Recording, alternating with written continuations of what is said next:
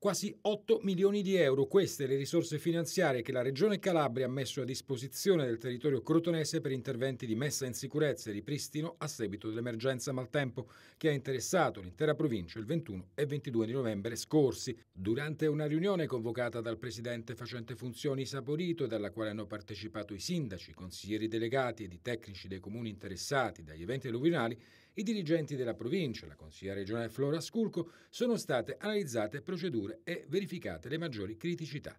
La consigliera Sculco, in continuo e stretto contatto con i dipartimenti della Regione e con gli assessori regionali di riferimento per l'emergenza maltempo, ha illustrato ai presenti le risorse e le azioni che l'ente Regione intende mettere in campo per Crotone ed il suo territorio.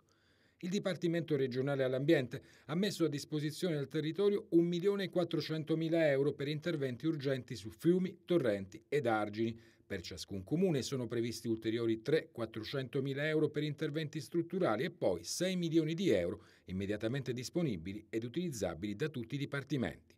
La provincia, oltre a fare da raccordo tra i comuni e la regione, intende affiancare gli enti locali nella redazione delle schede tecniche nella produzione di tutta la documentazione necessaria per dare subito risposte al territorio. Ed è per questo che già nei prossimi giorni, alla luce di quanto reso noto dalla consigliera regionale Sculco, è stato già fissato un nuovo incontro con i sindaci ed i tecnici per verificare lo stato di avanzamento degli ITER e per appurare e risolvere eventuali criticità.